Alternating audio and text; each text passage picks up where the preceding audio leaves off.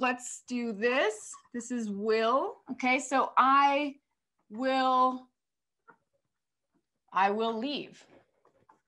You will leave.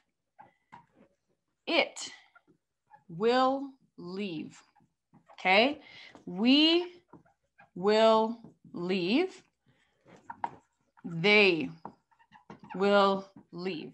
Okay, very simple. We're just putting in, you know, so then your, your formula is the subject plus will plus the main verb. Okay, and then obviously you can change out that main verb any with whatever verb you want. And there's really no, uh, you know, there's no irregulars here in this tense. So it's, it's fairly easy to just kind of plow through it. So I will leave, you will leave, it will, she will, he will, um, we will, and then they will. Okay, let's look at the negatives. Okay, um, and easily enough, we're just going to put in that verb not right between. Okay, you will not leave. Um, so you're going to just move this over easily enough.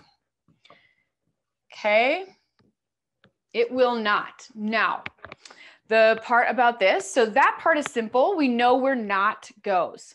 The other thing that we need to do is practice will plus not equals won't. Okay, so the contraction for will and not is won't. So I won't leave. I won't leave. You won't leave. Okay, um, it won't leave. We won't leave and they won't leave. Okay. One thing I want to point out as well, you guys here, is the pronunciation of this contraction won't. Um, when if you guys have come to my pronunciation and fluency classes or watched any of those, when we have the T in the final position of the word, so it's the last sound in this word. So w, o, n, t. It's at the end. We typically do not fully say that. Okay. So we don't say won't. Um, what you're to hear is won't. They won't leave. Okay. So it's kind of like, uh, it kind of like just stops really quickly. Okay. They won't leave.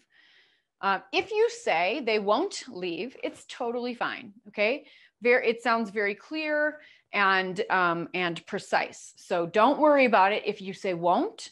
I'm, I'm why I tell you these things is that you need to understand that when you're listening to native speakers, um, you're going you're not going to hear this final T. They won't leave. Okay, that's what you will hear. Um, so it's totally correct pronunciation to drop that T and not pronounce it. Okay. Um, and so just under, you know, practicing that, practicing and knowing when you're listening to that, that that's what's happening would be really helpful too. Okay. So I won't leave. You won't leave. It won't leave. We won't leave. They won't leave. Okay. Um, and then, you know, as practice, I would just start switching out some of these verbs just to get comfortable saying those sentences and getting your mouth in the right formation so that you're saying it correctly will really help you. All right, you guys, really great work. This is such great work. I'm so excited to move on through this stuff.